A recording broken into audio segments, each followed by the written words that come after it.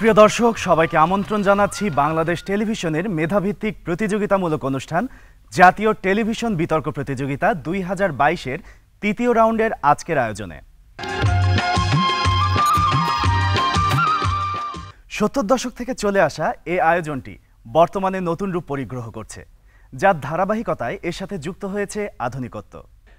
যুক্তির বহমান ধারায় আপনাদের মূল্যবোধকে জাগ্রত করার জন্য আমাদের আজকের বিষয়বস্তু নির্ধারিত হয়েছে বিধবাদের প্রতি সম্মানজনক আচরণ সৃষ্টিতে সমাজের ভূমিকায় মুখ্য। যে দুটো ঐতিহ্যবাহী শিক্ষা প্রতিষ্ঠান আমাদের আজকে এই বিষয়বস্তু নিয়ে বিতর্কে দ্বৈরথে লিপ্ত হবেন, তারা হচ্ছেন পক্ষদল, জগন্নাথ বিশ্ববিদ্যালয় একাত্তরের গণহত্যা এবং বিপক্ষ দল, ঢাকা বিশ্ববিদ্যালয় সলিমুল্লাহ মুসলিম হল, মঙ্গল শোভাযাত্রা দল। দুদলকে মঞ্চে আসার জন্য অনুরোধ করছি।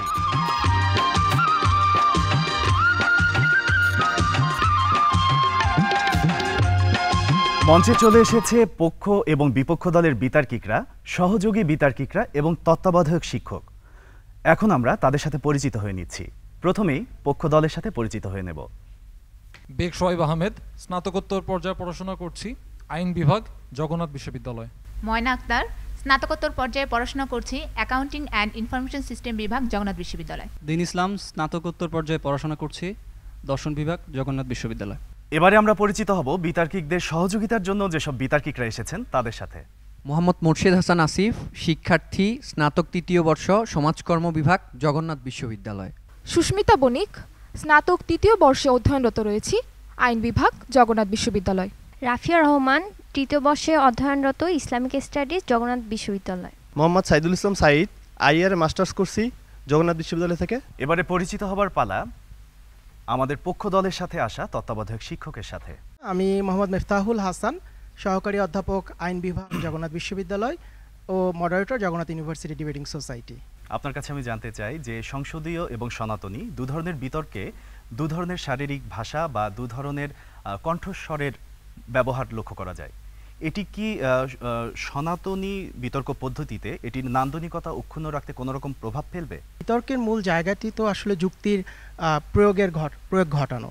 তো সেখান থেকে আমি মনে করি যে সনাতনী বিতর্ক কিংবা আমাদের সংসদীয় ধারার যে বিতর্ক, তার মধ্যে খুব বড় পরিসরে কোনো পার্থক্য নেই। তবে হ্যাঁ অবশ্যই আপনি যেটি বলেছেন যে, বিতার্কিকদের শারীরিক শরীর শরীরের ভাষা থেকে শুরু করে অন্যান্য কিছু বিষয়ে সংসদীয় বিতর্কে একটি বিশেষ মাত্রা লক্ষ্য করা যায়। তো সেখান থেকে আমার মনে হয় আমাদের বিতার্কিকরা বিশেষ করে আমাদের যে সোসাইটি রয়েছে সেখানে তারা সংসদীয় বিতর্কের পাশাপাশি এই যে সনাতনী বিতর্ক এমনকি বারোয়ারি বিতর্ক সবগুলো জায়গাতেই তারা কিন্তু নিয়মিত চর্চা করে আসছে। তো আমার মনে হয় সেটি খুব বেশি প্রভাব বিস্তার করবে না এই বিতার্কিকদের আজকের এই প্রতিযোগিতায়। এবারে আমরা পরিচিত হব বিপক্ষ দলের বিতার্কিকদের সাথে। আমি জুয়েল আরিফিন পড়াশোনা করছি ঢাকা বিশ্ববিদ্যালয়ে স্নাতকোত্তর পর্যায়ে। আমি আব্দুলাল নোমান স্নাতক দ্বিতীয় বর্ষ যোগাযোগ বৈকল্য বিভাগ। আমি মোহাম্মদ মিফতাল ইসলাম পান্থ দর্শন বিভাগে পড়ালেখা করছি ঢাকা বিশ্ববিদ্যালয়ে। এবারে পরিচয়ের পালা বিতার্কিকদের সহযোগিতার জন্য যেসব বিতার্কিকরা এসেছেন তাদের সাথে। আমি সাইফুল্লাহ জামান স্নাতকোত্তর পর্যায়ে পড়াশোনা করছি নৃবিজ্ঞান বিভাগ ঢাকা বিশ্ববিদ্যালয়। আমি মাহমুদুল হাসান রায়হান পড়াশোনা করছি তথ্যবিজ্ঞান ও গ্রন্থাগার ব্যবস্থাপনা বিভাগ তৃতীয় বর্ষ ঢাকা বিশ্ববিদ্যালয়। আমি শাহিন আলম পড়াশোনা করছি সমাজ কল্যাণ এবং গবেষণা বিষয়ে স্নাতকোত্তর পর্যায়ে ঢাকা বিশ্ববিদ্যালয়। আমি মোহাম্মদ রাসেল রানা স্নাতক তৃতীয় বর্ষ লেখাপড়া করছি বিশ্বধর্ম সংস্কৃতি বিভাগ ঢাকা বিশ্ববিদ্যালয়। পরিচয় হব বিপক্ষ দলের তত্ত্বাবধায়ক শিক্ষকের সাথে। আমি শিবলি নোমান সহকারী অধ্যাপক জাপানি স্টাডিজ বিভাগ এবং মডারেটর সলিমুল্লাহ মুসলিম হল ডিবেটিং ক্লাব ঢাকা বিশ্ববিদ্যালয়। আপনার কাছে আমি জানতে চাই যে সংসদীয় বিতর্ক ধারার যে অঙ্গশৈলীর ব্যবহার এবং কণ্ঠশৈলীর ব্যবহার এটি যদি সনাতনী বিতর্ক ধারায় আসে একটি সংমিশ্রিত রূপ তৈরি হয়। সেটি থেকে বের হয়ে বা সেটি যাতে না আসে, সেক্ষেত্রে আপনার দল কতখানি সচেতন? বা তারা এই ধারা থেকে বের হয়ে এসে বিতর্কে উপস্থাপনা করতে পারবে কিনা? যেহেতু এটা বিতর্ক এবং বিতর্কের যে বিনির্মাণ, এই বিনির্মাণে যে পরিবর্তনগুলো আসবে, আমার বিশ্বাস আমাদের শিক্ষার্থী যারা আছেন, সবাই এই পরিবর্তনকে আলিঙ্গন করতে পারবেন এবং নতুন পরিস্থিতিতে তাদের নিজেদেরকে খাপ খাইয়ে নিয়ে ওভাবে বিতর্ক করতে পারবেন বলে আমি আমি বিশ্বাস করি। উভয় দলকে সর্বমোট ১৯ মিনিট করে প্রদান করা হবে। এই ১৯ মিনিটের কতখানি গঠনমূলক পর্বে এবং কতখানি আপনারা যুক্তি খণ্ডন পর্বে ব্যবহার করবেন, সেটি নিতান্তই নির্ভর করছে আপনাদের উপর। এছাড়াও, আপনারা কোনো সহযোগী বিতার্কিক ব্যবহার করবেন কিনা এটিও নির্ভর করছে আপনাদের উপর। আপনাদের নির্ধারিত সময় শেষ হওয়ার 30 সেকেন্ড পূর্বে সতর্কতা সংকেত এবং চূড়ান্ত সময় পার হওয়ার পরে চূড়ান্ত সংকেত পড়বে। বিজ্ঞ বিচারক মণ্ডলী একজন বিতার্কিককে তাদের উপস্থাপনা, উচ্চারণ, ভাষার ব্যবহার, তত্ত্ব ও তথ্য পরিবেশনা, যুক্তির প্রয়োগ ও খণ্ডন এবং তাদের প্রতি বিচারকদের প্রশ্নের সদুত্তরের ভিত্তিতেই নম্বর প্রদান করবে। এবারে মঞ্চে আসছে আমাদের আজকের যারা গুরুদায়িত্ব পালন করবেন শ্রদ্ধেয় বিচারক মণ্ডলী। আসছেন জনাব মোহাম্মদ আব্দুল মান্নান, প্রাক্তন বিতার্কিক কথা সাহিত্যিক ও ট্রেজারার বঙ্গমাতা শেখ ফজিলাতুন্নেসা মুজিব বিজ্ঞান ও প্রযুক্তি বিশ্ববিদ্যালয়। জনাব মীর খায়রুল আলম, যুগ্ম সচিব, অতিরিক্ত মহাপরিচালক বিএমইটি এছাড়াও আসছেন আ নম ফাজুল হক জুরিক। চোদ্দতম জাতীয় টেলিভিশন বিতর্ক প্রতিযোগিতায় চ্যাম্পিয়ন দলের বিতার্কিক ও সরকারের উপসচিব।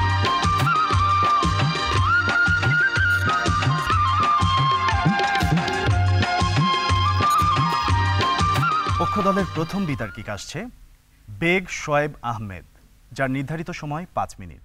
মাননীয় বিচারক মণ্ডলী, আজকে আমাদের বিতর্কের বিষয় নির্ধারিত হয়েছে। বিধবাদের প্রতি সম্মানজনক আচরণ সৃষ্টিতে সমাজের ভূমিকাই মুখ্য, পক্ষে বলছি। মাননীয় বিচারক মণ্ডলী, আজকে আমি আমার দলের প্রথম বক্তা হিসাবে আজকের বিষয়টিকে সংজ্ঞায়িত এবং তাৎপর্যমণ্ডিত করে যাব। আমার দলের দ্বিতীয় বক্তা এসে তার উপর যুক্তিতর্ক তুলে ধরবেন ও আমার দলের দলনেতা আমাদের তিনজনের বক্তব্যে সারমর্ম তুলে ধরার মাধ্যমে আমাদের অবস্থানটিকে আপনাদের সামনে সুদৃঢ় এবং সমর্থনযোগ্য করে যাবেন। মাননীয় বিচারক মণ্ডলী, আজকের এই বিতর্কের বিষয়টিতে যে কয়েকটি শব্দ সংজ্ঞায়নের দাবি রাখে তা হচ্ছে এক, বিধবা, দুই, সম্মানজনক আচরণ সৃষ্টি, তিন, সমাজ, এবং চার, মুখ্য। প্রথমে আসা যাক বিধবা শব্দটিতে। বিধবা বলতে সেই সকল নারীদেরকে বোঝানো হয় যাদের স্বামী মারা গিয়েছেন এবং এই পরিস্থিতিকে সাধারণত বলা হয় বিধবা দশা। এবার আমরা আসি আজকের বিতর্কে সম্মানজনক আচরণ সৃষ্টি বলতে আমরা কি বুঝব? সম্মানজনক আচরণ অন্তর্ভুক্ত করে মর্যাদা, সমাদৃত হবার স্বীকৃতি এবং এই যে সম্মান এবং কাজের জন্য যে সম্মানসূচক যে প্রশংসা তাদেরকে দেওয়া হয় সেই ব্যাপারটি। আমরা জানি মানুষকে সম্মান প্রদর্শন করা মানবিক গুণাবলীর অন্যতম একটি গুণ। এবং আজকের এই বিতর্কে আমরা সমাজের বিধবাদের সম্মানজনক আচরণ প্রদর্শন বলতে বোঝাবো, যার আচরণ সৃষ্টিতে আমরা নিয়ম শৃঙ্খলা, সমাজের রীতিনীতি, শ্রদ্ধা এবং মর্যাদার জায়গাটি সমুন্নত রাখতে পারি। এবার আসা যাক সমাজ বলতে আমরা কি বুঝি। সাধারণভাবে বলতে গেলে একদল মানুষ যখন বেঁচে থাকার জন্য এবং একটি সাধারণ উদ্দেশ্য চারিতার্থ করতে একে অপরের উপর নির্ভরশীল হয়ে পড়েন, তখন তা সমাজের রূপ নেয়। মাননীয় বিচারক মণ্ডলী, আজকে এই বিতর্কে আমাদের প্রথমত দেখা প্রয়োজন, একজন বিধবা নারী আসলে সমাজের কোন কোন জায়গা থেকে অসম্মানজনক আচরণ পেয়ে থাকেন। আমরা আজকে যদি সামাজিক বৈষম্যের জায়গাতে দেখি, একজন নারীকে কীভাবে আসলে তিনি বিধবা হওয়ার পর যিনি কিনা ওই সংসারের লক্ষ্মী ছিলেন, তার স্বামী মারা যাওয়ার সাথে সাথে তাকে তার স্বামীর পরিবার, তাকে তার বাবার পরিবার এক ধরনের বোঝা মানতে শুরু করেন। সেখান থেকে কিনা তার যে সম্পত্তির অধিকারটি ছিল, সেটিকে তাকে বঞ্চিত করার এক ধরনের সাহস তার কাছের মানুষেরা পেয়ে থাকেন। কেননা সমাজে এক ধরনের অপ্রচলিত একটি, এক ধরনের নীতি প্রচলিত হয়ে গেছে, যেখান থেকে কিনা মনে করা হয় বিধবাদেরকে আসলে সম্পত্তি থেকে বঞ্চিত করা একটা রীতি। এবং আমরা যদি সমীক্ষা দেখি দু হাজার বিশ সালে বিবিসি তার রিপোর্টে বলছে যে সত্তর শতাংশ বিধবা নারীর স্বামীর সম্পত্তি থাকা সত্ত্বেও মাত্র বারো শতাংশ নারী তার স্বামীর সম্পত্তিতে ভাগ পেয়ে থাকেন। এবার আমরা আসি, আজকের বিতর্কে আপনারা দেখাবো যে কীভাবে তাহলে সমাজ সব থেকে বড় ভূমিকাটা পালন করবে। প্রথমত আপনারা আজকে আমরা দেখাবো যে সমাজ যদি ভুক্তভোগীর কথা শুনতে পারে এবং একজন ভুক্তভোগী তার যে অভিযোগ সেটি প্রদানের পরবর্তীতে সে যেন সমাজের কাছ থেকে নিরাপত্তা পায়। কেননা আমরা বিভিন্ন সময় দেখি, নারীরা আসলে যাদের দ্বারা এই ধরনের নির্যাতন হন, একজন বিধবা নারী যেভাবে বিভিন্ন বিষয় থেকে বঞ্চিত হন, তিনি যখন সে ব্যাপারে অভিযোগ করতে যান, তাকে আসলে সেই ধরনের নিরাপত্তার জায়গাটা সমাজ সবসময় দিতে পারে না। অর্থাৎ সমাজকে এই নিরাপত্তাটা নিশ্চিত করতে হবে। পরবর্তীতে সমাজে যে নতুন প্রজন্ম আসছে, তাদেরকে আজকে লিঙ্গ, সম্মান, মানবাধিকার বিষয়ে তাদের যে মনোভাব, সেটা সৃষ্টিতে আমাদের সমাজকে ভূমিকা রাখতে হবে। একই সাথে আজকে যে ভুক্তভোগী, যে বিধবা ভুক্তভোগী থাকবেন, তাকে যেন সমাজ সহযোগিতা পাবার সুযোগ তৈরি করে দিতে পারে, সেই ব্যাপারটি সমাজকে খেয়াল রাখতে হবে। এমনকি আমরা দেখি আজকাল বিধবা নারীদের উপর অনেক ধরনের রীতিনীতি বা প্রচলন চাপিয়ে দেওয়া হয়। আজকে যদি কোনো একজন বিধবা দ্বিতীয়বার বিবাহ করতে চান, তাহলে সমাজ তাকে বেঁধে দেয় যে তুমি একজন বিপত্নিক পুরুষ অথবা একজন পৌর বৃদ্ধকে শুধুমাত্র বিয়ে করতে পারবে। অর্থাৎ এই ধরনের যে সম্মতির জায়গাগুলো নারী আছে, সেগুলো মুক্ত হোক এবং আমাদের পরবর্তী বক্তারা আপনাদেরকে সমাজের ভূমিকা আরও ভালোভাবে ব্যাখ্যা করে যাবেন। অর্থাৎ আজকে বিধবা নারীদের প্রতি সম্মানজনক আচরণ সৃষ্টিতে সমাজের ভূমিকাই মুখ্য। বিপক্ষ দলের প্রথম বিতার্কিক, জুয়েল আরেফিন। যার নির্ধারিত সময় পাঁচ মিনিট। আমাদের আজকের এই বিতর্কের যে বিষয়টি নির্ধারিত হয়েছে, বিধবাদের প্রতি সম্মানজনক আচরণ সৃষ্টিতে সমাজের ভূমিকাই মুখ্য। স্বভাবতে আমরা বিপক্ষ জায়গা, দলের জায়গা থেকে দেখিয়ে যাব আজকে সমাজের একটি অবস্থান থাকা সত্ত্বেও কেন সমাজ মুখ্য ভূমিকা পালন না করে রাষ্ট্রের জায়গা থেকে একটি মুখ্য ভূমিকা পালন করা যায় সেটি আমরা আমাদের জায়গা থেকে ব্যাখ্যা করে যাব। শুরুতেই যে গুরুত্বপূর্ণ প্রপঞ্চগুলো রয়েছে সেটি সংজ্ঞান করে যাচ্ছি। আজকের এই বিতর্কে যে গুরুত্বপূর্ণ প্রপঞ্চগুলো রয়েছে সেটি প্রথমত বিধবা। বিধবা বলতে আজকে আমরা সমাজে কাদের বুঝছি? যারা আজকে স্বামীহারা এবং সমাজে একটি নিগৃহীত অবস্থানে রয়েছে বা সমাজে আমাদের বর্তমান প্রচলিত সমাজে আমরা যদি দেখতে পারি, তারা সমাজে তাদের যে স্বাভাবিক যে অধিকারগুলো রয়েছে, সম্পত্তির অধিকার থেকে শুরু করে রাজনৈতিক, সামাজিক অন্যান্য অধিকার থেকে যারা বঞ্চিত, তাদেরকে আজকে আমরা বিধবা বলছি। এর পাশাপাশি আজকে সম্মানজনক আচরণ বলতে আমরা কি বোঝাতে যাচ্ছি? সম্মানজনক আচরণ বলতে আজকে বিজ্ঞ বিচারক মণ্ডল আমরা বোঝাতে চাই একটি মানুষের সমাজে বেঁচে থাকার জন্য যেই ধরনের অধিকারগুলো প্রয়োজন, অর্থাৎ তার সমাজে মৌলিক যে চাহিদাগুলো, সেটি পূরণ করার জন্য তার যে ধরনের অধিকারগুলো দরকার, অর্থাৎ তার অর্থনৈতিক সক্ষমতাটি, রাজনৈতিক সক্ষমতাটি এই জায়গাগুলো নিশ্চিত করতে পারলে আজকে তার সমাজে একটি স্থিতিশীল এবং সম্মানজনক অবস্থা তৈরি হয়। এই ব্যাপারটি আজকে আমরা দেখিয়ে যাব যখন রাষ্ট্র নিশ্চিত করতে পারে বেশি, তখনই আমরা দেখাতে পারব তার প্রতি একটি সম্মানজনক আচরণ সমাজে তৈরি হয় আস্তে আস্তে। এরপর যে শব্দটি দরকার, সৃষ্টি। আজকের বিজ্ঞ বিচারক মণ্ডলী দৃষ্টি আকর্ষণ করছে। আজকের এই সমাজে এই যে আচরণগুলো সৃষ্টি করা হবে, সেই আচরণ সৃষ্টিতে মূলত মুখ্য ভূমা- ভূমিকাটি কীভাবে সমাজ পালন না করে রাষ্ট্র করতে পারে, সেটি আমরা আমাদের প্রতি বক্তার জায়গা থেকে ধীরে ধীরে ব্যাখ্যা করে যাব তত্ত্ব, তথ্যর মাধ্যমে মাননীয় বিচারক মণ্ডলী। এরপরে আজকে আমাদের এই যে মুখ্য ভূমিকার জায়গা, অর্থাৎ প্রধান ভূমিকার জায়গাটিকে রাষ্ট্র কীভাবে এটি নিয়ন্ত্রণ করতে পারে এবং পরিচালনা করতে পারে, সেটি আমরা ধীরে ধীরে দেখে যাব। এর পর্যায়ে আসি, কেন আমরা আজকে মনে করছি যে রাষ্ট্র এই আচরণগুলো মুখ্য ভূমিকা পালন করতে পারে? আজকে সমাজে আচরণ সৃষ্টি করতে হবে আপনাকে। অর্থাৎ তাদেরকে সম্মান করার জন্য মানুষের যে আচরণগুলোকে সৃষ্টি করা বা আচরণকে তৈরি করে আনা, সেই আচরণ তৈরি করার সক্ষমতাটি আজকে সমাজের জায়গা থেকে বেশি রয়েছে রাষ্ট্রের জায়গায়। সেটি কীভাবে? আজকে রাষ্ট্রের এই ব্যাখ্যাটিও দরকার রয়েছে। অর্থাৎ কেন আমরা রাষ্ট্র বলতে কাকে বোঝাচ্ছি সেটি জানা দরকার রয়েছে। এই উত্তরটি দেওয়ার আগে, রাষ্ট্র বলতে মূলত আজকে একটি সরকার কাঠামোর উপর থেকে নিচের স্তরে সবগুলো জায়গা। অর্থাৎ আপনি যদি প্র- প্রশাসনিক ব্যবস্থাকে চিন্তা করে নেই এটি গ্রাম পর্যায় থেকে শহর পর্যায়ের যে প্রশাসনিক সর্বোচ্চ অবস্থাটি সেটিকে আমরা চিন্তা করে নিচ্ছি। সেই জায়গা থেকে আজকে রাষ্ট্রের এই সক্ষমতাটি বেশি রয়েছে, আচরণ তৈরি করার জায়গা থেকে। সেটি কীভাবে আমরা ব্যাখ্যাতে আসছি পরবর্তীতে? এবং সর্বশেষ যে জায়গাটি, রাষ্ট্রের জন্য আজকে এই আচরণগুলো তৈরি করা অনেক সহজ সমাজের তুলনায়। কীভাবে? সেটিও বলছি। দেখুন, আজকে একজন প্রখ্যাত দার্শনিক নোয়াম চমস্কি তার যে ম্যানুফ্যাকচারিং কনসেন্টের যে ধারণাটি, সেটিতে ব্যাখ্যা করে গিয়েছেন, রাষ্ট্রযন্ত্রের হাতে যে ক্ষমতার উপাদানগুলো থাকে, অর্থাৎ তার হাতে যে মিডিয়া এবং পাশাপাশি যে অন্যান্য রাষ্ট্রযন্ত্রের উপাদান থাকে, সেটি বিশ্ববিদ্যালয় হোক, বিদ্যালয় হোক, সামাজিক এবং রাজনৈতিক প্রতিষ্ঠানগুলো থাকে, সেই প্রতিষ্ঠানগুলোর মাধ্যমে আজকে মানুষের মধ্যে প্রচার করার জন্য যেই ধরনের নীতি বা নৈতিকতাগুলো প্রচার করতে পারে, বিশ্ববিদ্যালয় থেকে শুরু করে বিদ্যালয় সবগুলো জায়গায় শিশুদেরকে শিখাতে পারে কিংবা সমাজে প্রচার করতে পারে মানুষের আচরণগুলোকে নতুন করে গড়ে তোলার ক্ষেত্রে সমাজের যে সুযোগটি রয়েছে, সেটি রাষ্ট্রের যে রয়েছে, সেটি সমাজের কোনো জায়গায় নেই। আজকে তাদের এটি দেখিয়ে যেতে হবে কেন সমাজ এই জায়গাগুলো তৈরি করতে পারে এবং সমাজের এই সক্ষমতাটি রয়েছে, এটি তৈরি করে সমাজের সর্বস্তরে ছড়িয়ে দিয়ে এই আচরণটি সৃষ্টি করতে পারে এবং প্রতিষ্ঠিত করতে পারে, সেটি তাদের ব্যাখ্যা করে যেতে হবে। যেখানে আমরা মনে করি, আজকে রাষ্ট্রের এই জায়গা থেকে রাষ্ট্র যখন একটি বিদ্যালয়ে শিশুকে থেকে শুরু করে বিশ্ববিদ্যালয় পর্যন্ত এটিকে প্রচার করতে পারে, মানুষের মধ্যে আমরা যদি দেখি, বিভিন্ন রকম উদাহরণ দিয়ে যদি আমরা যাই, আজকে এসিড নিক্ষেপের পরিমাণ কমিয়ে আনা, কিংবা আজকে যদি মাতৃমৃত্যু হার কমিয়ে আনা, কিংবা আজকে প্রজনন স্বাস্থ্যের ব্যাপারে মানুষের মধ্যে সচেতনতা তৈরি করা, এই ব্যাপারগুলো সমাজ নয়। আজকে রাষ্ট্র যখন আইন প্রণয়ন করেছিল, বিভিন্ন নীতিমালা প্রণয়ন করেছিল, জনগণের কাছে যখন এগুলো প্রচার করেছিল, টেলিভিশন, মিডিয়া, বিভিন্ন জায়গায়, তখনই আমরা দেখতে পেয়েছি আজকে এই ব্যাপারগুলোতে সমাজের মধ্যে একটি কনসেন্ট তৈরি হয় বা একটি ধারণা তৈরি হয়। সেই ধারণার পরিপ্রেক্ষিতে আমরা বলতে পারি, আজকে এই সমাজের মানুষের আচরণকে নিয়ন্ত্রণ করা সহজ হয়, কিংবা সেই আচরণগুলো সৃষ্টি করা সহজ হয়। আমরা বলছি না, সেই আচরণগুলো রাষ্ট্র তাৎক্ষণিকভাবে প্রতিষ্ঠা করে দিতে পারবে। কিংবা আমরা এটি অস্বীকার করছি না, এখানে সমাজের কোনো ভূমিকা নয়। নেই মান্য বিচারক মণ্ডলী। আমরা মনে করছি সেই জায়গায় আজকে রাষ্ট্রের যে ভূমিকাটি, সেটি অধিক যুক্তিযুক্ত। শেষ করতে যাই, মানব বিচারক মণ্ডলী বনলতা সেনের যে একটি কথা রয়েছিল, জীবনানন্দ দাস বলেছিলেন চুল তার কবেকার, অন্ধকার, বিদিশার নেশা। আমরা যদি সেই আজ থেকে দুইশো বছর আগে প্রেক্ষাপটে ফিরে যাই, এই বনলতা সেনের এই চেহারাটি হয়তোবা বৈধব্যের যে দশাটি, সেটির কারণে দেখতে পেতাম না। একাদশী পালন করতে হতো তাকে, চুল মুন্ডন করে তাকে ঘরে উপবাস করতে হতো, দেব- দেবদেবীর পূজা করে তাকে দিন কাটাতে হতো। এই দশাটি আমরা চাই না। আমরা চাই আজকে ক্ষমতার যে ব্যাপারটি, সেটিতে চূড়ান্ত মাত্রায় ক্ষমতায়িত হয়ে আজকে সমাজে তার একটি সম্মানজনক অবস্থা সৃষ্টি হবে এবং সেটি মাননীয় বিচারক মণ্ডলী, আমরা মনে করি, রাষ্ট্রের মাধ্যমে সম্ভব। ধন্যবাদ মাননীয় বিচারক মণ্ডলী। এবারে আসছে পক্ষ দলের দ্বিতীয় বিতার্কিক ময়না আক্তার। যার জন্য নির্ধারিত সময় পাঁচ মিনিট। বিখ্যাত এরিস্টটলের মতে, মানুষ সামাজিক জীব। ব্যক্তি মানুষের সকল সার্থকতাই সমাজকে কেন্দ্র করে। সমাজের স্বীকৃতির উপর নির্ভর করেই মানুষের সম্পূর্ণতা। যে সমাজ আমাদের স্বীকৃতি দেয়, যে সমাজ আমাদের সম্মান দেয়, ঠিক সেই সমাজই বিভিন্ন সময় আমাদের নানা রকম প্রতিকূল পরিস্থিতির শিকার হয়ে দাঁড়ায়। তার একটি জলজ্যান্ত উদাহরণ বিধবা সমস্যা। বিধবা সমস্যার বিষ বাষ্পে সমাজে এতটাই জর্জরিত যে, যেখানে একজন বিধবা মানুষ হিসেবে ন্যূনতম সম্মানটুকু পায় না। যেটি আমার দলের প্রথম ব্যক্তা খুব স্পষ্টভাবে দেখিয়ে গেছেন।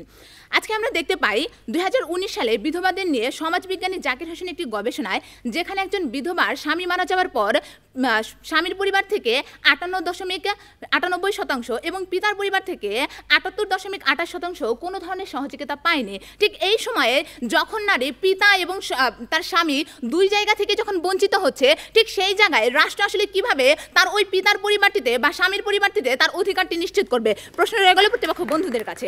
আমার দলে আজকে প্রতিপক্ষ বন্ধুরা আরও বলে গেলেন, রাষ্ট্র তার বিভিন্ন ধরনের রাজনৈতিক অধিকার নিশ্চিত করার মাধ্যমে করতে পারে। আজকে আমরা দেখতে পাই, রাজনীতিতে নারীর অধিকার অনেক আগে থেকে রয়েছে, সেখানে পঞ্চাশটি সিট আগে থেকে সংরক্ষিত রয়েছে। আমরা আরও দেখতে পাই, এখন পর্যন্ত সমাজে নারী পুরুষের সমান অধিকারের কথা বলা হয়েছে, কিন্তু তারপরেও কেন আজ পর্যন্ত বিধবাদের প্রতি এই অসম্মানজনক আচরণটি করা করা হয়? প্রশ্ন রয়ে গেল প্রতিপক্ষ বন্ধুদের কাছে।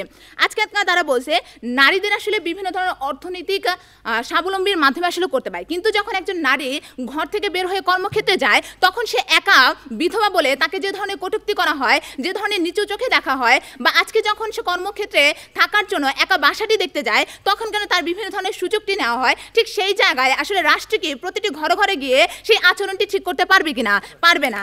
আজকে আমরা দেখতে পাই যে বিধবা বিবাহ যখন সমস্যা সৃষ্টি হয়, মুসলিম সমাজে নারীদের মুসলিম সমাজের আইনে নারীদের বিধবা বিবাহ সম্পর্কে কোনো নিষেধাজ্ঞা না থাকলেও বিভিন্ন সম্ভ্রান্ত পরিবারের নারীরা বিবাহ করতে পারতেন না। ঠিক সেই সমাজে সর্বপ্রথম বিধবাদের প্রতি সমর্থন দেয় এবং এর পেছনে জোরালো ভূমিকা পালন করে ইয়ং বেঙ্গল গোষ্ঠীর সদস্যগণ। সেখানেও কিন্তু সমাজই ভূমিকা পালন করে, কোনো ব্যক্তি বা কোনো রাষ্ট্র নয়। আজকে আমরা দেখতে পাই যে এই পর্যায়ে যতক্ষণ না পর্যন্ত আপনি আপনার নারীতে বা আপনি আজকে ঘর থেকে বের হয়ে আপনার সমাজ সেই নারীদের মুক্ত বিষয় নিয়ে মুক্ত আলোচনা যতক্ষণ না পর্যন্ত না করবে, সমাজ যখন একজন সামনে আপনার যখন অন্যায়টি হবে, ঠিক সেই সময় প্রতিবাদটি না করবে এবং সমাজ তাদের বিরুদ্ধে সেই লক্ষণগুলো উদ্রে করে মানবিকভাবে বা সামাজিকভাবে তার আলোচনার মাধ্যমে সমাধান আসতে না করবে, ততক্ষণ পর্যন্ত আপনার রাষ্ট্র ঘরে ঘরে গিয়ে সেই নারীদের সম্মানজনক আচরণের জায়গাটি নিশ্চিত করতে পারবে না। আপনার সামাজিক আচরণটি নিশ্চিত করতে হলে আপনার সমাজকে জাগ্রত হবে, আপনার সামাজিক মূল্যবোধের পরিবর্তন করতে হবে এবং সমাজ সচেতন হলে নারীর একটি সম্মানজনক জায়গা সৃষ্টি হবে।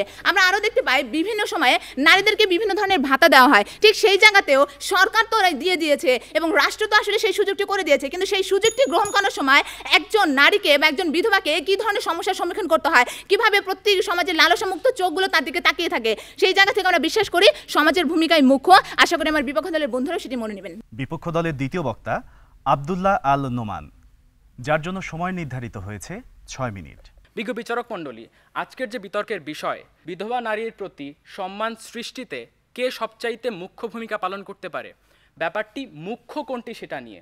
কোন কোন নিয়ামকের প্রভাব রয়েছে, সেখানে আপনি অনেকগুলো নিয়ামক অবশ্যই আনতে পারবেন। সেখানে হতে পারে নারীর ক্ষমতায়ন, হতে পারে শিক্ষা, হতে পারে সেখানে জনগণের সচেতনতা, হতে পারে আইন প্রণয়ন, অনেক কিছুই হতে পারে। কিন্তু সবগুলো দিকে যদি আপনি নজর দেন, যেটা সবচাইতে বেশি মুখ্য হবে, সেটা অবশ্যই রাষ্ট্রের ভূমিকা, যেখান থেকে আমরা বিপক্ষ দল আজকের বিতর্কটি করছি। বিজ্ঞ বিচারক মণ্ডলী, তাদের কাছ থেকে আজকে আমরা বেশ কিছু নালিশ শুনলাম। নালিশগুলোর একটু আমরা আলোচনা করতে চাই। প্রথম নালিশ ছিল, বারো শতাংশ নারী, বারো শতাংশ বিধবা নারী তাদের সম্পত্তির অধিকার পায় না। কেন পায় না? কারণ সম্পত্তির অধিকার পাওয়ার জন্য যে বিধবাদের জন্য যে আইনটি রয়েছে, সেই আইনটি সঠিকভাবে পালন করা হয় না। তার আইনি যে সহযোগিতা দরকার ছিল, সেই আইনি সহযোগিতা ঠিকঠাকভাবে দেওয়া হচ্ছে না। রাষ্ট্র যদি এটি নিশ্চিত করতে পারে, তাহলে অবশ্যই সম্ভব। যেখানে আমরা ইতিবাচকতাও লক্ষ্য করতে পেরেছি। যদি একটু দেখেন, আমরা অনেক আগে যদি চলে চাই আমরা যদি উনিশ শতকে চলে যাই, সেখানে দেখতে পারবেন আপনি নারীরা কোনো ধরনের, বিধবা নারীরা কোনো ধরনের সম্পত্তির অধিকার পেত না। দু হাজার একুশের কথা বলছি দু হাজার বাইশের কথা বলছি, সেইখানে আমরা কিছু ইতিবাচকতা দেখেছিলাম। বিজ্ঞ বিচারক মণ্ডলী, এই পর্যন্ত আমাদের বাংলাদেশে বিভিন্ন সমস্যা ছিল, সেই সমস্যার তথ্যগুলো একটু দিয়ে নিই। এসিড নিক্ষেপ, বিশাল সমস্যা ছিল, সেই সমস্যা কীভাবে সরকার দূর করেছে? প্রথম উদাহরণ বিভিন্ন প্রামাণ্য চিত্র তৈরি করা হয়েছে, সচেতনতা তৈরি করা হয়েছে, বিভিন্ন আইন তৈরি করা হয়েছে। এসিড নিক্ষেপ আইন দুই হাজার দুই অনুযায়ী সেখানে জেল, জরিমানা এবং অর্থদণ্ড নিশ্চিত করার মাধ্যমে এখন আপনি যদি দু হাজার দুইয়ের কথা বলেন দু হাজার একের কথা বলেন, সেটার চাইতে ধীরে ধীরে এখন কমছে এবং একটা সময় হয়তো আমাদের বাংলাদেশ পুরোপুরি এসিড নিক্ষেপ মুক্ত একটি দেশে পরিণত হয়ে যাবে। তারা যে সমাজের কথা বলল, সেই সমাজ নিয়ন্ত্রণ করে কারা? সেই সমাজ তো রাষ্ট্রই নিয়ন্ত্রণ করে এবং সমাজ যে সমস্যাগুলো তৈরি করে, সেই সমস্যাই যদি আপনি দূর করতে চান, তাহলে রাষ্ট্রকে উদ্যোগ নিতে হবে। তার মানে মুখ্যকে অবশ্যই রাষ্ট্র। রাষ্ট্র যদি ঠিকঠাকভাবে কাজ করে, তাহলে আপনি সমাজকে পরিবর্তন করতে পারবেন। এখন আপনি একটু দেখেন, আমরা একটু তাত্ত্বিক দিকে যদি যাই, অ্যান্টনিও গ্রামসির কথা বলছি, ইতালীয় একজন দার্শনিক, তিনি কমিউনিস্ট পার্টি নিয়ে অনেক কাজ করেছেন। তিনি একটি থিওরির কথা বলেছিলেন হেজিমনি থিওরি। আপনি যদি সাংস্কৃতিকগতভাবে কোনো জায়গায় পরিবর্তন আনতে চান, তাহলে সেই পরিবর্তনটি এতটাই শক্তপোক্ত হয় যে যাদের উপরে পরিবর্তন করা হচ্ছে, সমাজের যারা আছেন, তারা বুঝতেও পারবেন না যে আসলে এটি তাদের জন্য কতটা সাধারণ এবং কতটা তাদের জন্য দরকার। সেখান থেকে সরকারের যেটা করা দরকার, রাষ্ট্রের যেটা করা দরকার আইন প্রণয়ন করতে হবে সবার আগে, এরপর ক্ষমতায়ন করতে হবে, নারীর ক্ষমতায়ন। আপনি বিধবা ভাতা দিতে পারেন, যে বিধবা ভাতা অনেকদিন ধরে দেওয়া হচ্ছিল, আমি একটা সংখ্যা বলি। মাত্র পাঁচশো টাকা বিধবা ভাতা, যে পাঁচশো টাকা বিধবা ভাতা দিয়ে আপনি একদিন ঘরের বাজার করতে পারবেন না, সেই ভাতাটিও কিন্তু বাড়ানো যেতে পারে। এই কাজগুলো কে করবে? সমাজ? সমাজের কি আদৌ সেই ক্ষমতা আছে? সমাজ সেটা করতে পারে? পারে না। কে পারে? সেটা রাষ্ট্র। সে কারণেই রাষ্ট্র হচ্ছে সবচেয়ে মুখ্য। আমরা কিশোর কিশোরীর প্রজনন স্বাস্থ্য নিয়ে কাজ করেছি। যে কাজ করার মাধ্যমে আমরা দেখিয়েছি কীভাবে এই জায়গাতে উন্নতি করা সম্ভব। সেই কাজটি কে করেছে? রাষ্ট্র করেছে।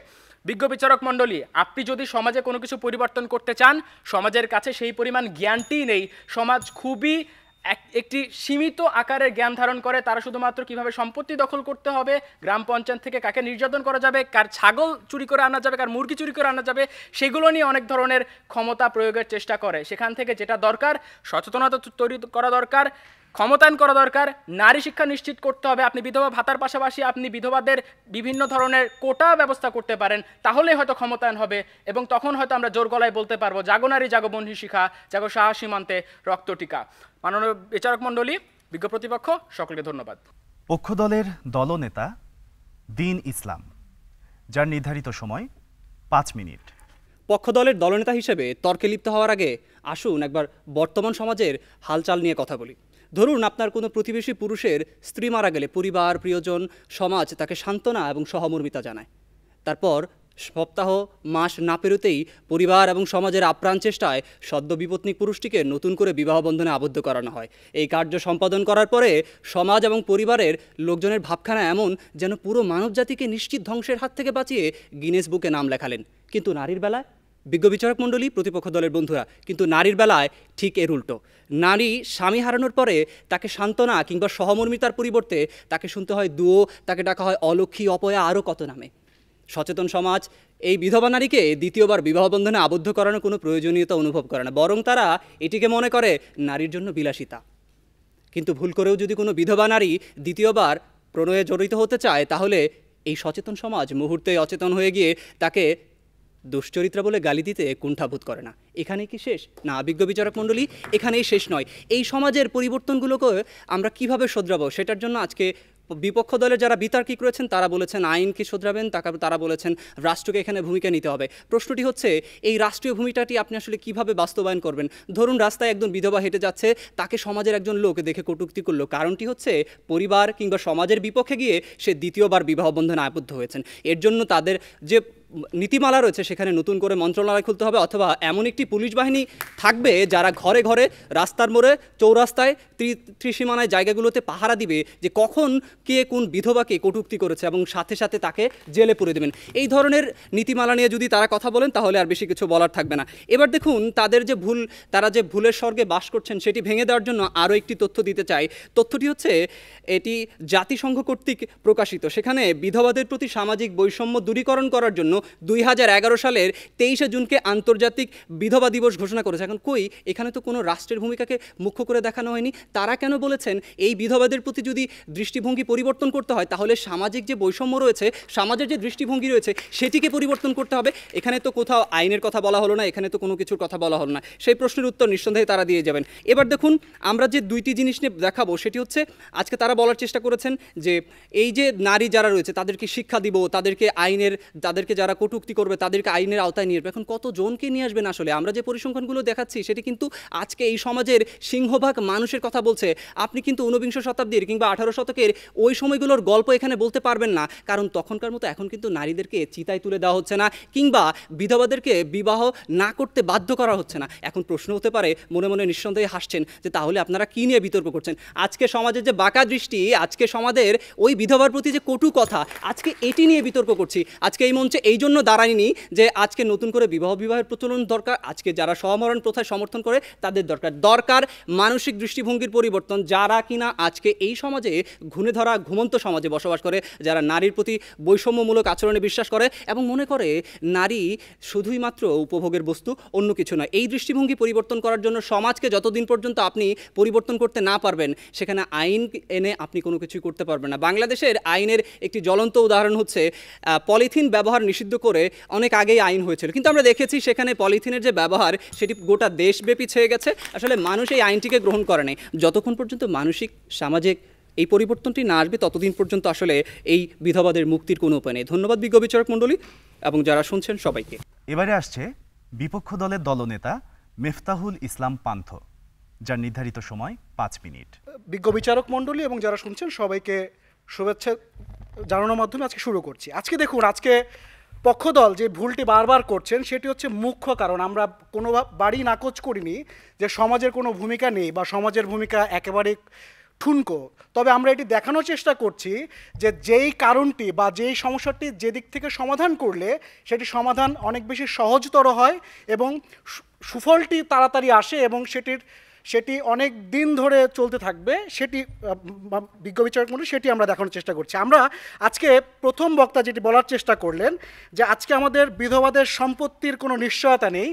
মাননীয় সভাপতি, আজকে আমাদের যেটি আমরা বলতে চাই, যে আমাদের একটি সাংবিধানিক অধিকার, সম্পত্তির অধিকার। এবং এই সাংবিধানিক অধিকার, সম্পত্তির অধিকারটি নিশ্চিত করে রাষ্ট্র বা রাষ্ট্রযন্ত্র। এবং তারা যে যুক্তিগুলো দেখানোর চেষ্টা করলেন এবং তারা কয়েকবার বললেন যে রাজা রামমোহন রায়ের কথা বললেন, সতীদাহ প্রথা প্রথা বিলোপের বিলোপের কথা বললেন, ঈশ্বরচন্দ্র বিদ্যাসাগরের কথা বললেন। দেখুন, রাজা রামমোহন রায় দীর্ঘ পথ পাড়ি দিয়ে রানী ভিক্টোরিয়ার সাথে দেখা করতে গিয়েছিলেন শুধুমাত্র সতীদাহ প্রথার আইনটি বিলুপ্ত করার জন্য। অর্থাৎ এখানে আইনটি বা রাষ্ট্রযন্ত্রের যেই ভূমিকাটি সেটি খুবই গুরুত্বপূর্ণ মাননীয় সভাপতি। মাননীয় সভাপতি ঈশ্বরচন্দ্র বিদ্যাসাগর তার ছেলের বিবাহ দিয়েছিলেন একজন বিধবার সাথে। কিন্তু সেই বিধ- বিধবা বিবাহের আগে, তার ছেলেকে বিয়ে দেওয়ার আগে তিনি কিন্তু আইনটি পরিবর্তনের জন্য চেষ্টা করেছেন। বিধবা বিবাহ আইন প্রণয়নের চেষ্টা করেছেন। অর্থাৎ যখন আপনার কোনো আইন থাকবে না, কোনো বাধ্যবাধকতা থাকবে না, তখন মাননীয় সভাপতি বিজ্ঞ বিচারক মণ্ডলী, তখন আপনি কোনো কিছুর উপরে সমাজের কোনো কাউকে দায়ী করতে পারবেন না। বিধবাদের প্রতি সম্মানজনক আচরণের প্রতি আমরা সুফল দেখছি। কীভাবে দেখছি? আজকে দু হাজার একুশ বাইশ অর্থ বছরে আজকে সমাজ কল্যাণ মন্ত্রণালয় থেকে আমরা দেখতে পাচ্ছি, প্রায় চব্বিশ লক্ষ পঁচাত্তর হাজার বিধবাকে বাৎসরিক ছয় হাজার টাকা করে ভর্তুকি দেওয়া হচ্ছে। মাননীয় সভাপতি আজকে যখন, আজকে আম- আমরা তাদের যে যুক্তিটি, আজকে তাদের দ্বিতীয় বক্তা বলে গেলেন যে, একান্নটি শাড়ি বিয়ের সময় পেয়েছিল, সেগুলিটি আলমারিতে রয়ে গেছে। সেটির কারণ তাদের মানসিকতাই মাননীয় সভাপতি কীভাবে? কারণ তারা যখন একজন বিধবার অধিকার রক্ষার জন্য, সম্পত্তির অধিকার বা তাদের চলাচলের যে সম্মানজনক যে দৃষ্টির অধিকার, সেটির জন্য যদি সে তার পাড়া প্রতিবেশীর দিকে তাকিয়ে থাকে, অর্থাৎ নারীর জাগরণ যদি না ঘটে, তাহলে আসলে এই একান্নটি শাড়ি কখনো আর পরে পড়া হবে না মাননীয় সভাপতি। অর্থাৎ এই জায়গাটিতে রাষ্ট্রযন্ত্রের কিছু দায়িত্ব থাকে। মাননীয় সভাপতি, আজকে তারা বারবার বলার চেষ্টা করলেন যে যদি একজন বিধবা রাস্তা দিয়ে হেঁটে যায় এবং হেঁটে যাওয়ার সময় যদি তার প্রতি কটূক্তি হয় মানুষ সভাপতি, ওনারা হয়তো জানেন না যে আজকে ইফটিজিংয়ের বিপক্ষে মামলা করা যায়। আজকে এই কটূক্তির বিপক্ষে বা এই ধরনের নারী নির্যাতনের বিপক্ষে আজকে মামলা করা যায়। আজকে আপনি যখন, আপনার রাষ্ট্র যখন সুসংগঠিত এবং আপনি ওয়েলফেয়ার স্টেটগুলোতে যখন আপনি দেখবেন, তখন নারীদের অধিকারের জন্য নারীরা কখনোই পাড়া প্রতিবেশী বা অন্য বাবা, ভাই কারও উপর তাকিয়ে থাকে না। রাষ্ট্র আপনাকে অধিকার অগ্রাধিকার দিচ্ছে। হ্যাঁ সমাজের প্রয়োজন রয়েছে, কারণ রাষ্ট্রেরও তিনটি কাজ রয়েছে। একটি হচ্ছে আইন প্রণয়ন, একটি পৃষ্ঠপোষকতা দেওয়া এবং জনসচেতনতা তৈরি করা। এই যে সমাজের পরিবর্তন, সমাজ একটি দুর্বোধ্য জায়গা এবং যেটি কিনা দুষ্পরিবর্তনীয় এবং এই সমাজ সংস্কারকদের কথা যেই পক্ষদলরা বারবার বলছেন, এই সমাজ সংস্কারকরা বারবার আসেন রাষ্ট্রের এই আইনগুলো পরিবর্তনের মাধ্যমে একটি কাঠামোগতভাবে সমাজকে পরিবর্তন করার চেষ্টা করেন এবং এর মাধ্যমেই আমরা বিভিন্ন সময়ে বিভিন্ন সামাজিক যে ধরনের ব্যাধিগুলো রয়েছে, যেগুলোতে সমাজকে সংস্কার প্রয়োজন ছিল, সেই সমাজের সেই সংস্কারগুলো আমরা দেখতে পাই মাননীয় সভাপতি। সুতরাং আজকে আমরা বলছি যে বিধবাদের প্রতি সৌজন্যমূলক আচরণের জন্য সমাজের একটি ভূমিকা থাকলেও মুখ্য ভূমিকাটা অবশ্যই এবং অবশ্যই রাষ্ট্রযন্ত্র বা রাষ্ট্র পালন করে। রাষ্ট্রকে আপনি পরিবর্তন করুন, বিধবার অধিকার আদায় করুন এবং পরবর্তীতে জনসচেতন বৃদ্ধির মাধ্যমে আপনি সমাজকে পরিবর্তন করে সমাজ সংস্কার করবেন। ধন্যবাদ। বিজ্ঞ বিচারক মণ্ডলী, ধন্যবাদ সবাই যুক্তিখণ্ডন পর্বে আসছে পক্ষ দলের দলনেতা দিন ইসলাম। যার জন্য নির্ধারিত সময় চার মিনিট। প্রতিপক্ষ দলের বিজ্ঞ তার্কিকরা একেবারে শেষ তাদের দলনেতা থেকে শুরু করতে চাচ্ছি। তিনি তার বক্তব্যের মাঝখানে এসে আসলে সমাজের যে অস্তিত্ব রয়েছে, সেটি আসলে অস্বীকার করে চেষ্টা করেছেন প্রতিপক্ষ। এখন প্রশ্ন হচ্ছে, আপনি যে আইনটি করতে চাচ্ছেন, জানি না আমরা কি আইন করবেন, কারণ আমরা জানি এসিড নিক্ষেপের বিরুদ্ধে আইন রয়েছে বাল্যবিবাহের বিরুদ্ধে আইন রয়েছে, সতীদা প্রথা যাতে করে সমাজে প্রচলন হতে পারে, সেটির আইন রয়েছে। তারপরে আসলে নতুন করে কি আইন চালু করবেন, যেটি দ্বারা আমরা যে সমস্যাগুলো দেখিয়েছি, সাংস্কৃতিক জায়গায়, তার ব্যক্তিগত পারিবারিক জায়গায়, তার শ্বশুর বাড়ি, এই অধিকারগুলো তাকে কীভাবে নিশ্চিত করাবেন, সেটি স্পষ্ট কোনো ধারণা তিনি দিয়ে যাননি। এরপরে দেখুন, তারা বলেছেন, বিধবার ক্রন্দন আসলে কার কাছে? বিধবার ক্রন্দন পৌঁছায় না।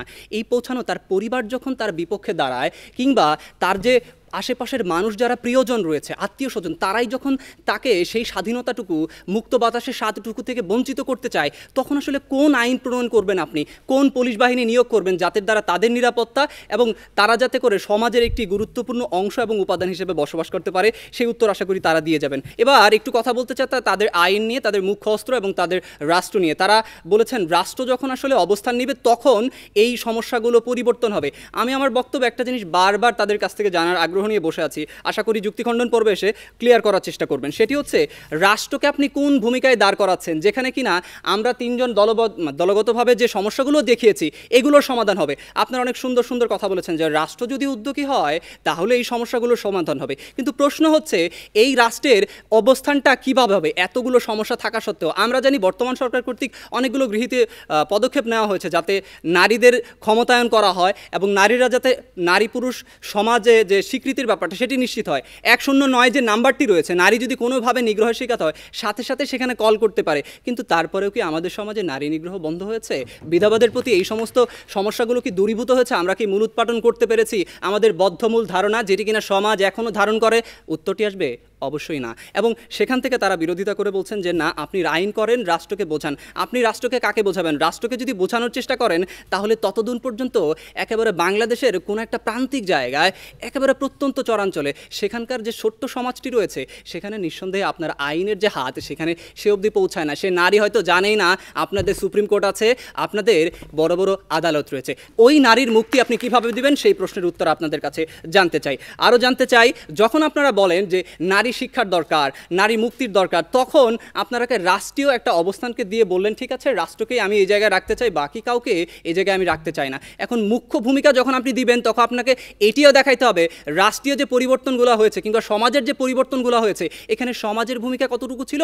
রাষ্ট্রের ভূমিকা কতটুকু ছিল? আমরা দেখেছি, সমাজ যদি পরিবর্তন না হয়, তাহলে রাষ্ট্রের যে সমস্ত আইনগুলো রয়েছে, সেই আইনগুলো নিঃসন্দেহে আপনি জোর করে চাপিয়ে দিতে পারবেন না। আর আশা করি আপনারা একটা স্বৈরতান্ত্রিক সরকার কিংবা রাষ্ট্রের যে পরিচয়, সেটিও প্রকাশ করতে চাইবেন না। কারণ আপনি যখনই কোনো নাগরিককে জোর করে কোনো কিছু চাপিয়ে দিতে চাইবেন, তোমাকে এটি মানতে হবে, আপনাদেরকে এটি মানতে হবে, তখন রাষ্ট্রের যে চেহারাটি ফুটে উঠবে, সেটি হচ্ছে স্বৈরতান্ত্রিক। আশা করি এই ধরনের অবস্থান থেকে তাদের যে অবস্থান, সেটি থেকে বেরিয়ে আসবেন এবং আমাদের সাথে সুর মেলাবেন, বলবেন নারী মুক্তির জন্য, বিধবাদের মুক্তির জন্য আজকে সামাজিক যে আন্দোলন, সমাজের যে ভূমিকা, সেটি মুখ্য এবং সেটিকে অবলম্বন করে আমরা ভবিষ্যতে একটি সুন্দর এবং সামাজিক পৃথিবী, মানবিক পৃথিবী গড়তে পারি। ধন্যবাদ, বিজ্ঞ বিচারক মণ্ডলী, ধন্যবাদ সবাই যুক্তিখণ্ডন পর্বে বিপক্ষ দল থেকে আসছে মেফতাহুল ইসলাম পান্থ, যার নির্ধারিত সময় তিন মিনিট।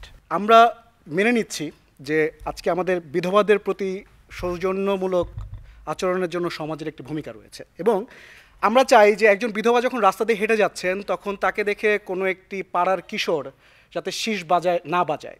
আমরা এটি চাই যে একজন বিধবা যাতে সসম্মানে তার পরিবারে, তার শ্বশুর বাড়ি হোক, তার বাবার বাড়ি হোক, সেখানে থাকতে পারে এবং তার প্রাপ্য সম্পত্তি যেন সে পায়, প্রাপ্য অধিকার যেন সে পায়, ইত্যাদি ইত্যাদি। এবং এখানে সমাজের একটি ভূমিকা, কারণ হচ্ছে সে সমাজের এক, একটি সমাজে বাস করে এবং সমাজের আশেপাশের যে মানুষ রয়েছে পাড়ার প্রতিবেশী বাবা, মা, ভাই, বোন, তাদের একটি হস্তক্ষেপ এখানে রয়েছে। কিন্তু, মাননীয় সভাপতি, আজকে আমরা দেখতে পাই এই যে সমাজের যে মানসিকতা, সেই মানসিকতা কথাটা পরিবর্তন করবে কে? বা পরিবর্তনের সূচনাটা সূচনাটা করবে কে? এবং মাননীয় সভাপতি, আজকে আমরা দেখেছি যে সমাজ, সামষ্টিক সমাজ একটি দুষ্পরিবর্তনীয় জিনিস এবং রাষ্ট্রযন্ত্র বিভিন্নভাবে এই সমাজের পরিবর্তনের চেষ্টা করে। আমরা দেখতে পাই যে শিশু শিশু মৃত্যু হার থেকে শুরু করে বা কয়েকদিন আগে আজ আমাদের যখন সাক্ষরতার সাক্ষরতার হার অনেক কম ছিল, রাষ্ট্রযন্ত্র কিন্তু উপবৃত্তির সেবা চালু করে এবং উপবৃত্তির পরে এখন আমাদের সাক্ষরতার হার প্রায় চুয়াত্তর শতাংশ। অর্থাৎ আমরা দেখতে পাই যে সরকার যখন ইনসেন্টিভ বা কোনো ধরনের পুরস্কৃত করে জনগণকে বা সচেতনতা করে, আমরা দেখতে পাই তথ্য আপা স্বাস্থ্য আপা, বিভিন্ন রকমের কার্যক্রম স্থানীয় সরকারের, প্রশাসনের বিভিন্ন ধরনের কার্যক্রমের ফলে সমাজে কিন্তু সচেতনতা সৃষ্টি হয়। এবং আমরা কয়েকদিন আগে দেখতে পাই যে সরকার যখন, রাষ্ট্রযন্ত্র যখন বাবা মা বৃদ্ধ- বাবা মায়ের অধিকারের কথাটা তুলে আনেন এবং সন্তানের বৃদ্ধ বাবা মার দেখভাল দেখভাল করার যে বাধ্যবাধকতার যে আইনটি, সেটি প্রণয়ন করার পরে কিন্তু মাননীয় সভাপতি আমরা দেখতে পাই তাদের অধিকারটি প্রতিষ্ঠা হয়। অর্থাৎ সমাজের ভূমিকাটা মাননীয় সভাপতি খুবই গুরুত্বপূর্ণ, অবশ্যই গুরুত্বপূর্ণ। একই সাথে শিক্ষার গুরুত্বপূর্ণ ভূমিকা রয়েছে এবং অন্যান্য অনেক নিয়ামক রয়েছে, কিন্তু সবগুলো নিয়ামকের মধ্যে রাষ্ট্রযন্ত্র যদি সেই জিনিসটাকে অবহেলা করে, তাহলে এই সমাজের পরিবর্তনটা কিন্তু কখনো মানুষ হতে হয় না। এবং সমাজের সংস্কারকরা কিন্তু সবসময় রাষ্ট্রকে প্রেশারাইজ করে রাষ্ট্রকে চাপ প্রয়োগ করে তাদের আইনকে, আইন প্রণয়নকে, সচেতনতাকে বা রাষ্ট্রের যে মনোভাব রয়েছে, রাষ্ট্রের যে অভিব্যক্তি রয়েছে সমাজের প্রতি সেটিকে পরিবর্তন করার জন্য। রাষ্ট্র যদি মনে করে বিধবাদের অধিকার প্রয়োজন নেই, তাহলে কোনো সমাজই আসলে পরিবর্তন হবে না। রাষ্ট্র যখন মনে করবে বিধবাদের অধিকারের দরকার রয়েছে এবং সেই অনুযায়ী আইন হবে এবং আইনের প্রচলন হবে এবং রাষ্ট্র যখন সচেতনতা বৃদ্ধির জন্য কাজ করবে এবং বিভিন্ন রকমের ইনসেন্টিভ দিবে তখনই জনগণ সচেতন হওয়া শুরু করবে এবং সমাজের একটি একটি পরিবর্তন হবে এবং এই পরিবর্তনের মাধ্যমে আমাদের যে উদ্দেশ্যটি, বিধবাদের অধিকার দেওয়া এবং সমাজে তাদের জন্য একটি, তাদের জন্য একটি সুন্দর পরিবেশ সৃষ্টি করা এবং সৌজন্যমূলক দৃষ্টিভঙ্গি তৈরি করা, সেটি সম্ভব সুতরাং আজকে বিধবাদের জন্য মুখ্য জায়গাটি হচ্ছে রাষ্ট্রের, কখনোই সমাজের নয়। গঠনমূলক এবং যুক্তিখণ্ডন পর্ব শেষ হলো। এ পর্যায়ে বিজ্ঞ বিচারক মণ্ডলীর মধ্য থেকে আনম ফায়জুল হক জুরিক স্যার, উভয় দলকে একটি করে প্রশ্ন করবেন। ধন্যবাদ। আমার পক্ষ দলের নিকট যেই প্রশ্নটি রয়েছে, আমি ধরে নিচ্ছি বাংলাদেশের এই বাস্তবতায় একজন মেয়ে একটি সন্তান নিয়ে অল্প বয়সে বিধবা হলেন। তিনি তখন নানাবিধ সামাজিক যে কটাক্ষের শিকার হন, তার মধ্যে পুরুষদের একটা ধারণা থাকে যে এই মেয়েটি এখন সহজলভ্য। ফলে তাকে বিভিন্ন ধরনের ইঙ্গিত করা হয়। এই যে ইঙ্গিত করা হয়, এটি একটি বিষয়। আরেকটি বিষয় ধরে নিলাম, একজন পুত্র সন্তানহীন মহিলা বিধবা হলেন। তখন তিনি তার মেয়ের বাড়িতে আশ্রয় নিলেন। সেই ক্ষেত্রে মেয়ের স্বামী কিংবা স্বামীর বাড়ির দিকের আত্মীয়রা তার প্রতি যে আচরণ করেন এই দুটো আচরণের ক্ষেত্রে সমাজের ভূমিকা কি হতে পারে? মানে সমাজ এই ক্ষেত্রে কীভাবে উত্তরণের পথ তৈরি করতে পারে? আমরা একদম শুরু থেকে যেটি প্রমাণ করার চেষ্টা করেছি, আজকে এই ছেলে কিংবা মেয়ে এই দুইটা ধারণা এমন একটি দৃষ্টিভঙ্গি সমাজের বা সমাজ এমন একটি চশমা পরে একজন নারীর দিকে তাকায় কিংবা একজন পুরুষের দিকে তাকায়, প্রথমেই হচ্ছে তাদের মধ্যে একটা পার্থক্য করে ফেলে, নারী এবং পুরুষ বলে। এই দৃষ্টিভঙ্গিটা আসলে বিধবাদের প্রতি আরও কীভাবে ভয়ানক রূপে আক্রমণ করে, সেটি এখন বলি। সেটি হচ্ছে আমি যদি সমাজকে এই ধারণাটা দিতে পারি যে আজকে শুধুমাত্র নারী বলে তাকে আপনি বলবেন বিধবা, অপয়া, তাকে বলবেন অলক্ষী, তাকে বলবেন হচ্ছে স্বামী মৃত্যুর জন্য সে দায়ী, এই ধারণাগুলো আপনি আসলে রাষ্ট্রীয় অবস্থান থেকে কোনোভাবেই পরিবর্তন করতে পারবে না। একটি সামাজিক জোয়ার দরকার, একটি সামাজিক প্রেক্ষাপট দরকার, যেখানে একেবারে এই আন্দোলনটা শুধু শুরু হতে পারে ব্যক্তি পর্যায় থেকে। যেমন আমরা দেখেছিলাম বিধবা বিবাহের ক্ষেত্রে ঈশ্বরচন্দ্র বিদ্যাসাগর তার একদম ছোট্ট জায়গা থেকে এবং আমরা দৃষ্টান্তটি এটিও দেখেছিলাম, তার নিজের ছেলেকে কিন্তু সে একজন বিধবার মহিলার সাথে বিবাহ দিয়েছিলেন। কারণটি কি? কারণটি হচ্ছে আপনাকে এইভাবে আগাতে হবে এবং আপনার নিজে থেকে শুরু করতে হবে যে আমার এই সামাজিক বদ্ধমূল ধারণাটাকে ভেঙে চুরে গুড়িয়ে দেওয়ার জন্য সমাজকে অগ্রণী ভূমিকা পালন করতে হবে। এবং এর জন্য প্রত্যেকটা পরিবারের যে সদস্য রয়েছে, যেহেতু তারা একটি সমাজের একটি অংশ, বৃহৎ সমাজের অংশ, তাদেরকে ওই দৃষ্টিভঙ্গির পরিবর্তন করতে হবে। এবার আরেকটি প্রশ্ন ছিল আপনার যে সমাজে যদি একদমই আসলে সে বিধবা হয় যদি তার কোনো একটি সন্তান থাকে তারপরে বিধবা হয়, তাহলে তার প্রতি একটা লালসময় দৃষ্টি থাকে আসলে। এটির জন্য দেখুন, আপনি যখন একজন বিধবাকে এই ধারণাটা আমি আসলে কোথা থেকে পাই? আমি একটা নারী, এমন একটি সমাজে আমি বড় হয়েছে বিষ- বিষাক্ত সমাজ, যেখানে আমাকে এই ধারণাটি বিশ্বাস করা, একজন বিধবা নারী, তার মানে সে সহজলভ্য। কিন্তু এই ধরনের ন্যাক্কারজনক, নিকৃষ্ট চিন্তাটাই তো আসলে সমাজ থেকে পাওয়া। এগুলো তো আসলে রাষ্ট্র দেয়নি কিংবা আইন দেয়নি। সুতরাং এইগুলো থেকে যদি আপনি বের হয়ে আসতে চান, অবশ্যই সামাজিক অবস্থানটাকে আরও একবার মনে করিয়ে দিতে চাই। কারণ হচ্ছে এখন আর আগের মতো অবস্থান নাই যে স্বামীর সাথে চিতায় তার স্ত্রীকে উঠিয়ে দেওয়া হচ্ছে। এই সূক্ষ্ম বৈষম্যগুলো, এই সূক্ষ্ম পার্থক্যগুলোই আসলে সমাজের মধ্যে বিভেদ তৈরির মূল কারণ। এবারে বিপক্ষ দলের প্রতি প্রশ্ন। আমরা ইদানিং লক্ষ্য করি, কোনো মেয়ে বিধবা হলে সেই মেয়ের সন্তানরা, বিশেষ করে মেয়েরা ইদানিং এগিয়ে আসে মায়ের বিয়ে দিতে। বিধবারা হয়তো রাজি হচ্ছেন না, কিন্তু তাদের মধ্যে মাকে বিয়ে দিয়ে মার নতুন জীবন শুরু করার প্রতি একটি প্রবণতা লক্ষ্য করা যাচ্ছে। আবার আমরা দেখেছি, অল্প বয়সে যখন মেয়েরা বিধবা হচ্ছেন, তার মধ্যে বিয়ের প্রবণতা কাজ করছে না। এই যে বিয়ের প্রবণতা কাজ করছে না, এটা তার মানসিক ইচ্ছা নাকি দিনে দিনে সমাজ বিভিন্ন ধরনের কটাক্ষের কারণে তার মধ্যে ইচ্ছাটা পোষণ করেছে সে যে বিয়ে করব না। এ দুটো বিষয়ের ক্ষেত্রে রাষ্ট্র কি করতে পারে? রাষ্ট্রের কি ভূমিকা রয়েছে? বিজ্ঞ বিচারক মণ্ডলী, আমরা মনে করি যে এখানে রাষ্ট্র যেটা, যেটি আপনাকে দেয় সেটি হচ্ছে স্বাধীনতা। আপনার সিদ্ধান্ত গ্রহণের যে স্বাধীনতা, সেটি হচ্ছে যে আপনি বিয়ে করবেন কি না বিয়ে না করার পিছনে কারণ হতে পারে যিনি স্বামী ছিলেন, তার প্রতি ভালোবাসা হতে পারে। অথবা বর্তমান যুগ অনেক বেশি প্রতিযোগিতার যুগ। এখন নারীরা অনেক বেশি এগিয়ে গিয়েছে। আগের মতো ঘরের কোণে থাকে না, থাকতে পছন্দ করে না। এবং এই কারণে, প্রতিযোগিতার কারণে নারীরা যখন নিজেদেরকে স্বয়ংসম্পূর্ণ মনে করে, তখন তাদেরকে আস তাদের জন্য আসলে চলার পথের সাথী বা স্বয়ংসম্পূর্ণতা আনার জন্য বা কারোর উপর নির্ভরশীলতার জন্য আসলে নতুন করে বিয়ে করার যে একটা প্রয়োজনীয়তা আগের যুগে দেখা যেত এখন আর সেটি দেখা যায় না।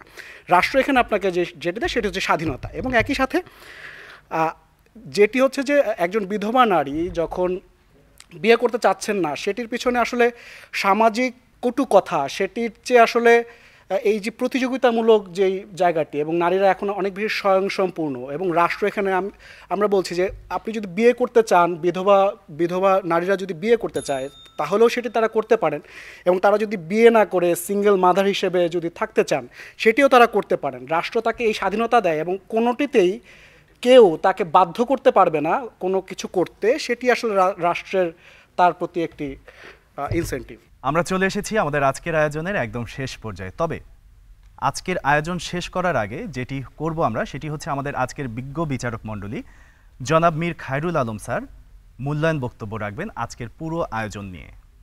যুক্তির যে বিচার, যে বিষয়বস্তু, বিষয়বস্তুটি হচ্ছে বিধবাদের প্রতি সম্মানজনক আচরণ সৃষ্টিতে সমাজের ভূমিকাই মুখ্য।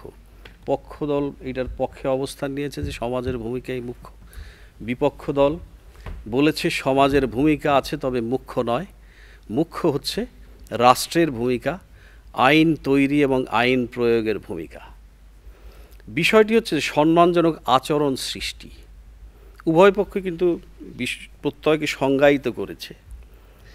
এই সংজ্ঞায়নের মধ্যে দিয়ে যে সোশ্যাল ইন্টারাকশন এইটাকে যে লিঙ্ক করা সংজ্ঞায়নের সাথে সাথে সম্মানজনক আচরণ সৃষ্টির যে প্রক্রিয়া, তাই না?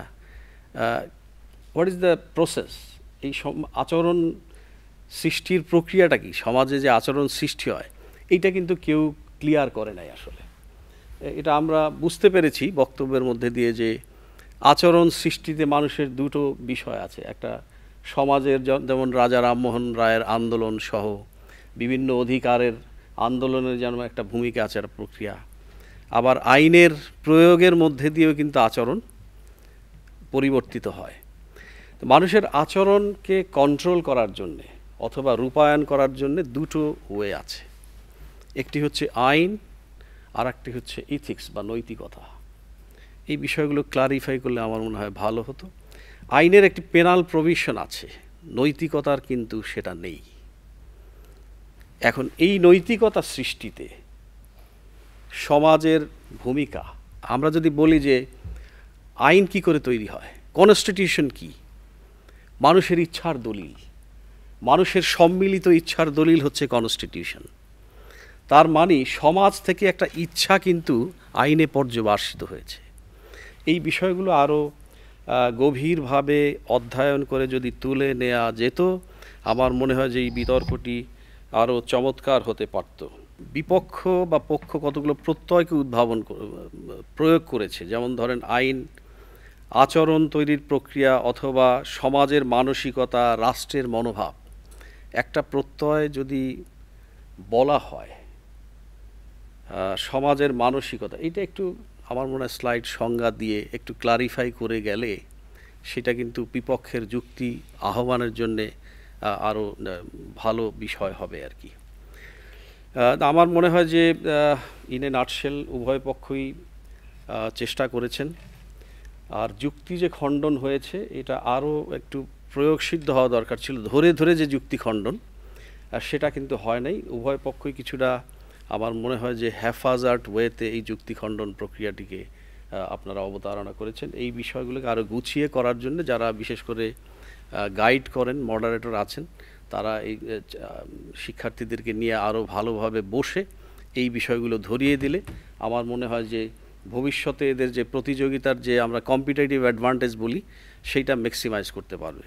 তা আমি উভয় পক্ষের বক্তা সহ যারা তাদেরকে লিড করছেন, যারা সহায়তা করছেন সকলকে ধন্যবাদ জানিয়ে আমার কথা শেষ করছি। সবগুলো ধাপ শেষ করে ইতোমধ্যে আমরা চলে এসেছি আমাদের সেই কাঙ্ক্ষিত ধাপে। সেই কাঙ্ক্ষিত ধাপ হচ্ছে ফলাফল এবং আমাদের বিজ্ঞ বিচারক মণ্ডলী তাদের ফলাফল তৈরি করে ফেলেছেন। এখন আমি সেগুলো সংগ্রহ করব।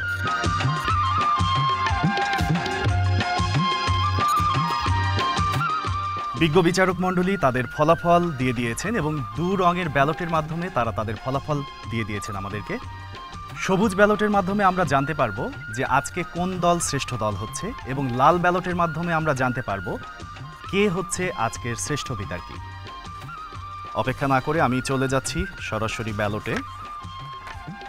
আমাদের প্রথম ব্যালটের বিজয়ী দল, বিপক্ষে ঢাকা বিশ্ববিদ্যালয় সলিমুল্লাহ হল মঙ্গল শোভাযাত্রা। আমাদের দ্বিতীয় ব্যালটের বিজয়ী দল, পক্ষে জগন্নাথ বিশ্ববিদ্যালয় একাত্তরের গণহত্যা। তার মানে এখন পর্যন্ত ব্যালটের মাধ্যমে আমরা জানতে পারছি যে দু দলই একটি ড্র অবস্থায় আছে। দেখা যাক এই তৃতীয় ব্যালটের মাধ্যমেই কোন দল আজকে বিজয়ী হয়। আমাদের তৃতীয় ব্যালটের শ্রেষ্ঠ দল হচ্ছে পক্ষে জগন্নাথ বিশ্ববিদ্যালয় একাত্তরের গণহত্যা। এবারে আমরা জানব কে হচ্ছে আজকের শ্রেষ্ঠ বিতার্কী প্রথম ব্যালটে যার নাম এসেছে, তিনি হলেন পক্ষের দলনেতা দিন ইসলাম। দ্বিতীয় ব্যালটে আমরা দেখতে পাচ্ছি, আমাদের আজকের শ্রেষ্ঠ বিতার্কিকে যার নাম এসেছে পক্ষের দলনেতা দিন ইসলাম। তার মানে আমরা বুঝতে পারছি আমাদের আজকের শ্রেষ্ঠ বক্তা কে তারপরে অনুষ্ঠানের নিয়ম অনুযায়ী আমি তৃতীয় ব্যালটটিও খুলছি। আমাদের তৃতীয় ব্যালটে যার নাম এসেছে, পক্ষের দ্বিতীয় বক্তা ময়না আক্তার। এই ছিল জাতীয় টেলিভিশন বিতর্ক প্রতিযোগিতা দুই হাজার বাইশের তৃতীয় রাউন্ডের আজকের আয়োজন। আশা করছি আপনাদের ভালো লেগেছে। আপনাদের ভালো লাগা আমাদের সার্থকতা। সবাই ভালো থাকবেন, সুস্থ থাকবেন। আগামীতে দেখা হবে বাংলাদেশ টেলিভিশনের সাথে।